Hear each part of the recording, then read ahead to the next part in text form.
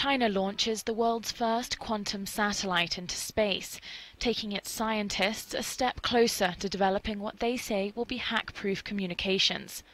Once in orbit, the satellite will use quantum technology to transmit keys from space to Earth. These keys, state media says, are impossible to intercept or hack. Any attempt to do so will cause the keys to self destruct. Xinhua says the satellite will allow for secure communications between Beijing and Urumqi, the capital of Xinjiang, where the government says it is fighting an Islamist insurgency. The launch is part of China's ambitious space program as it seeks to establish itself as a space power. The US has voiced concern about the country's growing space capabilities, but China insists it is all for peaceful purposes.